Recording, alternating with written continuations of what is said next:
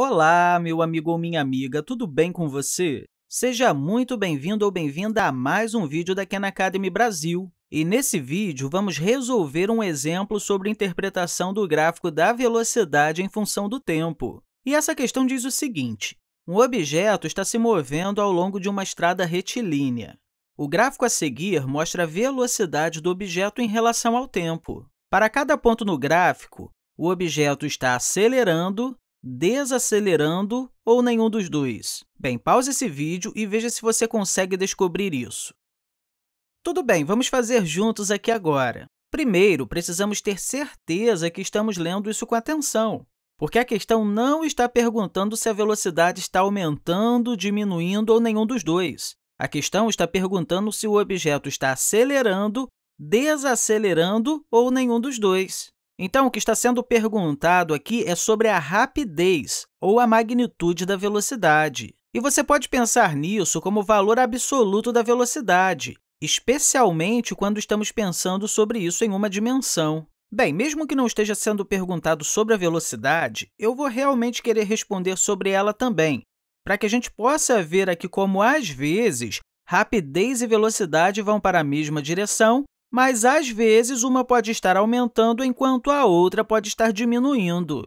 Então, olhando para isso bem aqui, onde nossa velocidade é 2 metros por segundo, a velocidade absoluta, a rapidez nesse caso, também será 2 metros por segundo. E podemos ver que a inclinação da reta tangente do gráfico da velocidade em função do tempo é a positiva nesse ponto.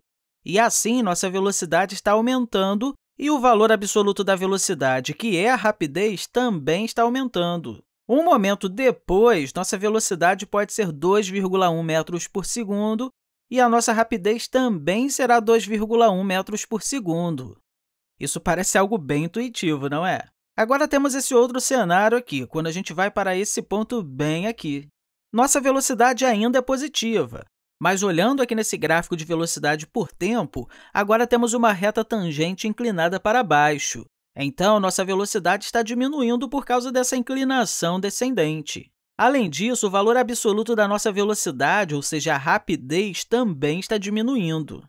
Bem, nesse momento, nossa velocidade é de 2 metros por segundo, e então, um momento depois, ela vai ser 1,9 metros por segundo. Tudo bem, agora vamos para esse ponto.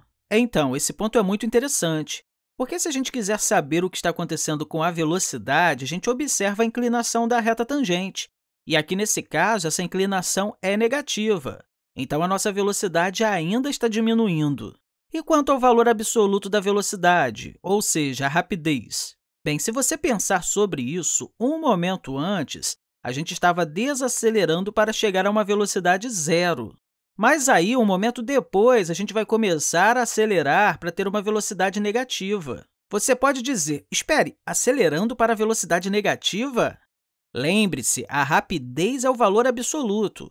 Então, se sua velocidade vai de 0 para 1 metro por segundo negativo, a rapidez vai de 0 para 1 metro por segundo. Mas, apesar da velocidade ser negativa, um momento antes estávamos diminuindo a rapidez, e um momento depois, estamos aumentando a rapidez. A velocidade que é positiva imediatamente antes fica negativa imediatamente depois. Então, a velocidade está diminuindo, mas a rapidez não. Ou seja, a partícula não está nem acelerando e nem desacelerando nesse ponto. Agora, e quanto a esse ponto? Aqui, a inclinação da reta tangente do nosso gráfico da velocidade por tempo ainda é negativa. Então, nossa velocidade ainda está diminuindo, não é? Mas e a rapidez? Bem, a nossa velocidade já é negativa, está se tornando mais negativa. Sendo assim, o valor absoluto da velocidade, que é de 2 metros por segundo, está aumentando nesse momento.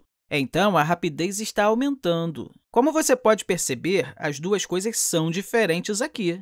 Agora, e quanto a esse ponto? Bem, a inclinação da reta tangente aqui do nosso gráfico da velocidade por tempo é zero.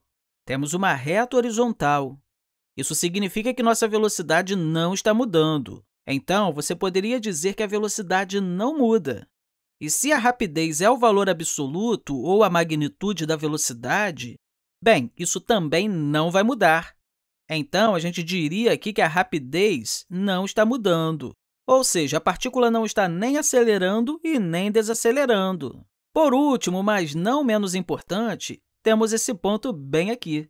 A inclinação da reta tangente é positiva, então a nossa velocidade está aumentando. Mas e a rapidez? Bem, a velocidade aqui é 2 metros por segundo negativo, e a rapidez é apenas 2 metros por segundo. Agora, se a gente avançar um pouquinho aqui no tempo, a velocidade vai ser maior, porque está ficando cada vez menos negativa. Mas o valor absoluto da velocidade vai estar diminuindo até chegar a zero. Sendo assim, enquanto a velocidade aumenta, a rapidez diminui. Então, a partícula vai estar desacelerando.